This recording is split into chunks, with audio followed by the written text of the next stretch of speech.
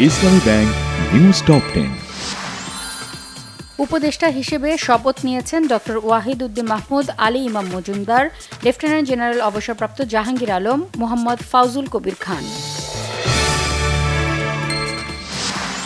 ছাত্র আন্দোলনে বগুড়ায় শিক্ষক সেলিম হোসেন নিহতের ঘটনায় আওয়ামী লীগ সভাপতি শেখ হাসিনা ও সাধারণ সম্পাদক ওবায়দুল কাদের সহ একশো একজনের বিরুদ্ধে মামলা। সেনাবাহিনীর চাকরি থেকে বাধ্যতামূলক অব্যাহতি পাওয়া মেজর জেনারেল জিয়াউল হাসানকে গ্রেফতার করেছে পুলিশ। ছাত্রদের বিক্ষোভে বর্বরতার তথ্য উপাত্ত সংগ্রহ করে বিচারের আওতায় আনার বিষয়ে সহায়তা করবে জাতিসংঘ তদন্ত দল। বিএনপি চেয়ারপারসন খালেদা জিয়াকে উন্নত চিকিৎসার জন্য দ্রুত বিদেশে নেওয়া হবে, জানালেন দলের মহাসচিব মির্জা ফখরুল ইসলাম আলমগীর।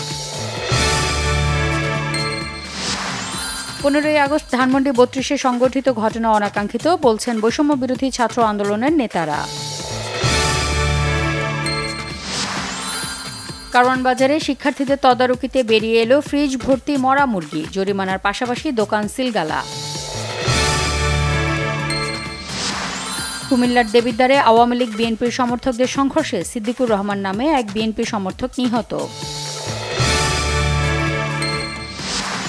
ইসরায়েলের প্রধানমন্ত্রী বেনিয়ামিন নেতানিয়াহুকে যুদ্ধবিরতির অনুরোধ জানানোর দাবি সাবেক মার্কিন president Donald Trump.